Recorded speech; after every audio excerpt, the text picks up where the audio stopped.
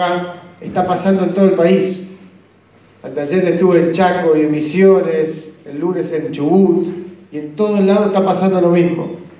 En todos lados la, esa rebeldía, esa rebelión sana y positiva que ocurrió en el 2015 en la elección presidencial está llegando a cada una de las provincias de nuestro país, a cada una de las provincias que está necesitando y demandando también que exista un Cambiemos dispuesto a construir una alternativa para esa provincia, dispuesto a construir un equipo de buena gente, con ideas comunes, con valores comunes, pero sobre todo con la vocación de representar a todos ustedes, representar a cada uno de los argentinos que quiere un cambio también para su localidad y para su provincia.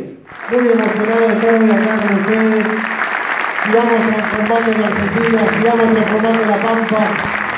Adelante Arata, adelante La Pampa. Muchas gracias.